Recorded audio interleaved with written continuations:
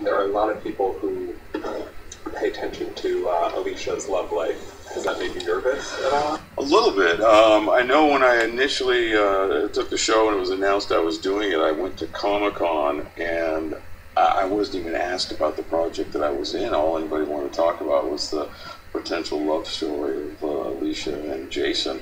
I think Alicia needs some loving. I think it's pretty important.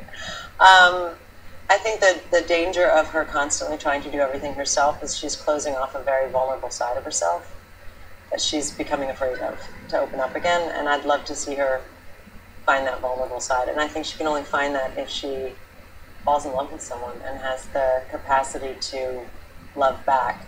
Um, I think she has tremendous respect for Peter and understands her position in their marriage, but there isn't, it's not warm and cozy, we should say.